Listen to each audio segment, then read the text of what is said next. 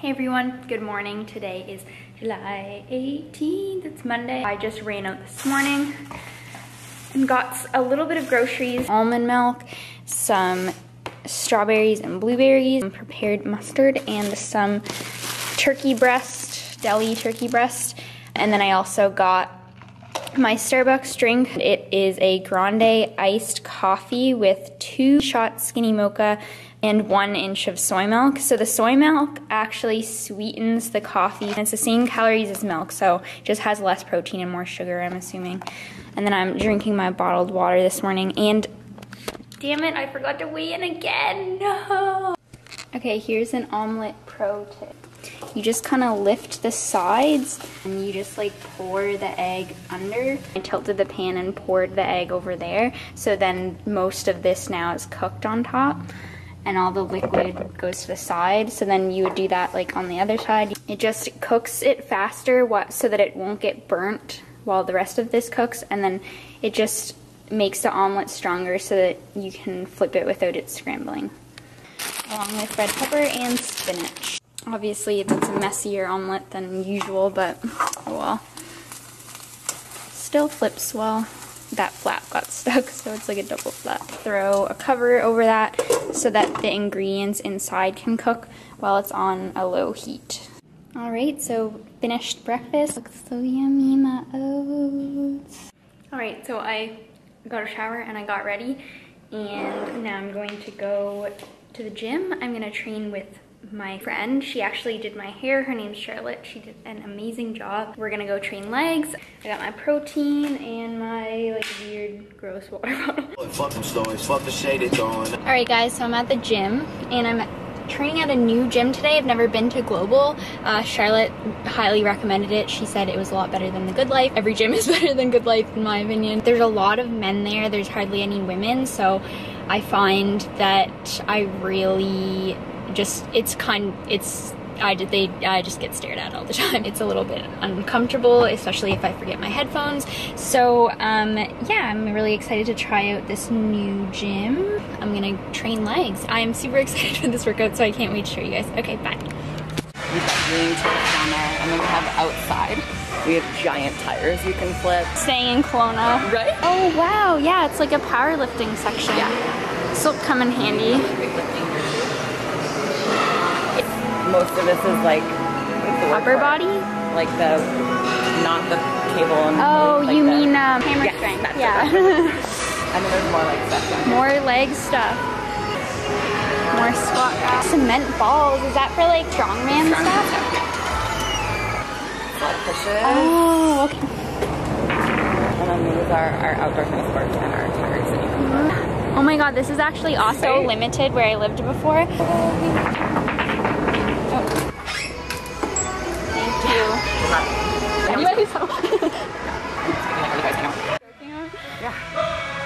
So I don't think I got this on camera before, but I basically squealed when I saw all of this uh, leg equipment. So there are three different types of leg presses and, oh, another leg press. Yeah, three leg presses and two hack squats.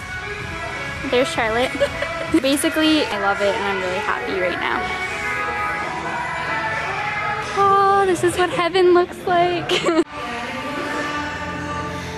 hey everyone, so I wanted to record a voiceover for this video. Um, this workout was in Kelowna before I left for the East Coast tour. Um, I'm planning on doing a double upload, so look out for the next video and then put up the New York video because I really need to get those up. I really need to get them done. Um, so first off, we started with the squat press. I really like how it has a pendulum action. So basically, um, it, it's like a more natural glute movement. I found it's like similar to doing a pendulum kickback. Um, so here's kind of this is like a straight pushback um, for the glutes, but um, the yeah, like like doing a glute, cable glute kickback is really similar to doing that squat press, so I really like it. So we started with that, then we moved on to um, a superset just to get our glutes activated with this glute kickback, and then um, this is a really poverty clip, but um, a reverse hack squat, just really lightweight. They were kind of our activation exercises, and then after that, we moved into doing some back squats. Um, so she, as you can see, Charlotte is like insane strong, like it's crazy. Um, yeah. so she's here like repping 155, I think, like how I would rep like 115. So she's super strong. Um, she doesn't have she has never formally done powerlifting. She's more into hypertrophy, so um, but she does love strength training. So it'd be really cool for her to do a powerlifting meet in the future. I think she could do really well. This is like a high bar squat. Um, but yeah, she's really glute dominant as you can tell with her squat too. So, um, and then here's me like team long femurs.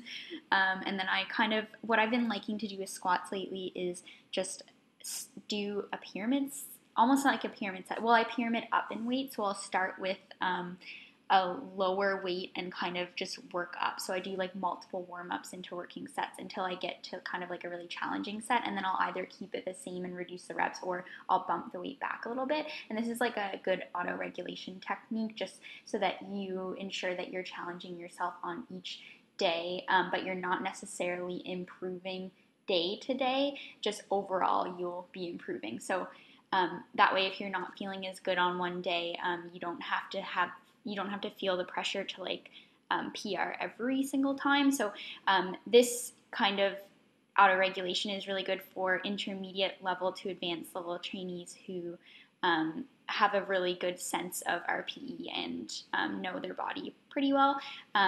Not something I would usually set up people who are just brand new to lifting or new to strength training or um, anything like that where they don't have a good judge of their RP. So Charlotte here just hit a since prep PR.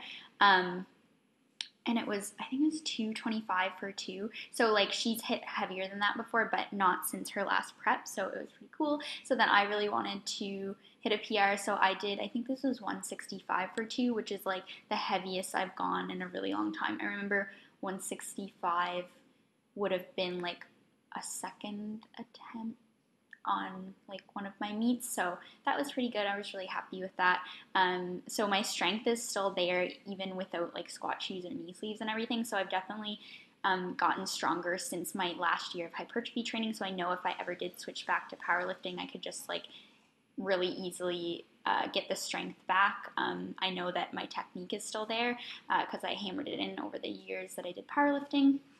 Um, so next we moved on to uh, split squats, as you can see. And I haven't done these in forever, and they're kind of uncomfortable for me, not gonna lie. So I try. I don't really do exercises that are more uncomfortable for me, but um, Charlotte kind of showed me how she does them, and I really liked it. She takes like a water stance, uh, uses a bench, and then she holds on to something for support. So I highly recommend that. And then just hold the dumbbell in one arm so that you can maintain that balance. And you obviously just want to avoid pressing too hard with the other hand. It's just kind of more for balance. So yeah. Um, what else? So, oh yeah, we moved on to leg extensions. So I wanted more of a glute ham workout because I did quads like the last time, or I included more quad dominant uh, exercises. Uh, but Charlotte is bring, trying to bring up her quads because she's more glute ham dominant. So we added in some leg extensions at the end. Like I said, um, I am trying to bring up my quads again now. So whereas I wouldn't, I haven't done leg extensions in like probably a year and a half, um, but I'm really liking them, and it's crazy. Like you don't quite get a the same burn as you would doing leg extensions on a machine. Like it's like nothing else, it's painful, um, but in a good way. So yeah, this was fun. We did uh, straight sets of 20, and then we did uh, the last one, we did a drop set. So it was, yeah, it was hard. And yeah, so right now, just to give a life update, I am at Emily's house and I'm finally here. And I just had like the worst traveling mishaps of life.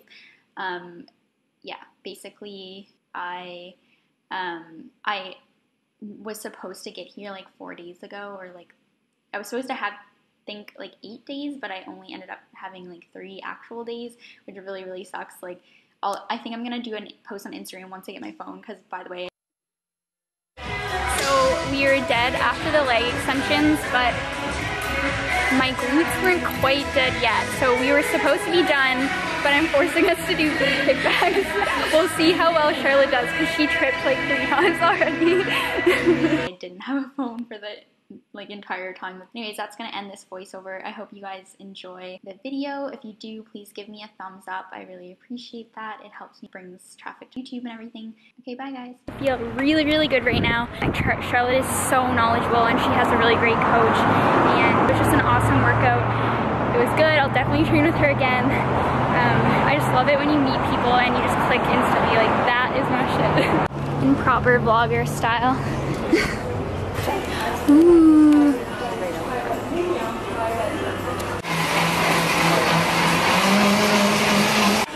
Okay, see you, you too. So, it's now 8.54 p.m. and I have not eaten anything since breakfast, except for a protein shake that I have had after the gym and like a few bites of that froyo. So, I need to get something to eat. On a positive note, I really like the new Gymshark little sockies. They're comfy. Yes, we gonna order some sushi.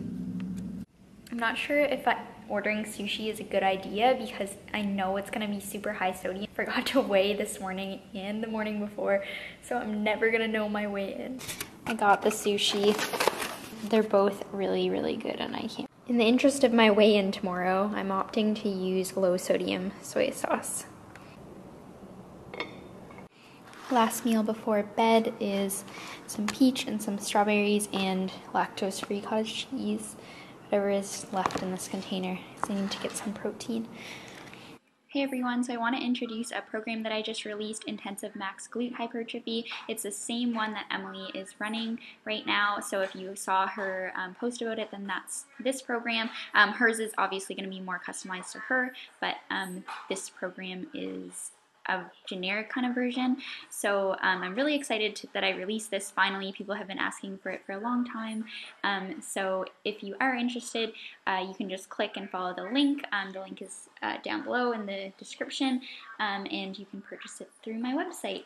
Uh, and all the details are kind of listed on the website here so you can give that a read through. And if you absolutely need to and you have any questions after purchase, you can email me.